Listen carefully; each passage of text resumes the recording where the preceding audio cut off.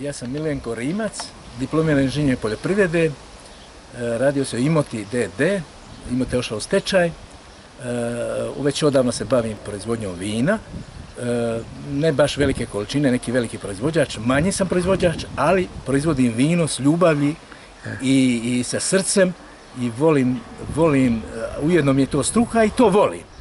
I smatram da je dosta dobro kvalitetno vino. Mala količina, ali kvaliteta dobra. Dobro. Ovaj, a gdje si studirao? Studirao sam u Osijeku, to mi je studentski grad, drag mi je ta grad E, e, e, i tako.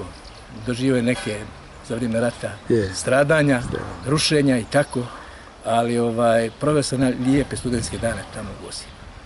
dobro, Naučio sam mnogo toga. odlično.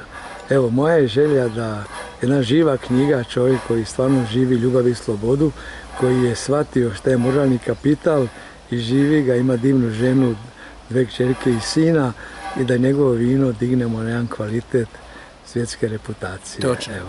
Hvala ti, hvala, točno.